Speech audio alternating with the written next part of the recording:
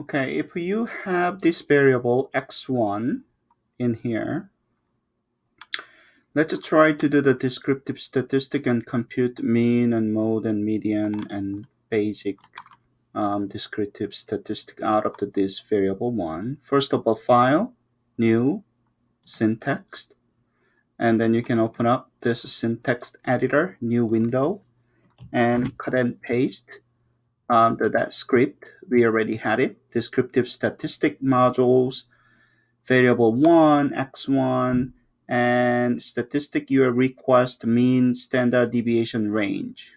Okay.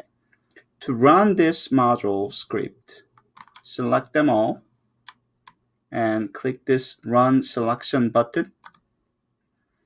Ta-da! You will get this descriptive statistic. And that, that module will be displayed in output of SPSS output as well. Thank you.